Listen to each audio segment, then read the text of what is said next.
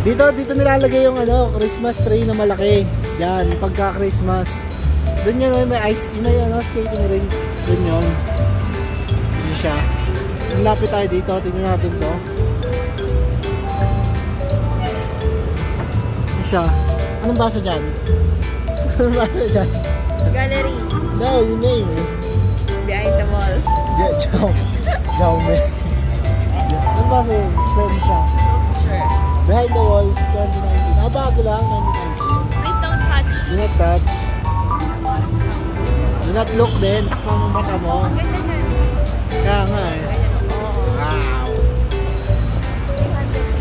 360 sa likod, sa likod. Wow, may holiday. Detail. no? High blood yata eh. Pumuputok yung... Pumuputok-batok eh. Ayun yung ano, St. Patrick's. Dito lang siya. Ito, Saks. Saks Fifth Avenue. Department store ng mga mayayaman.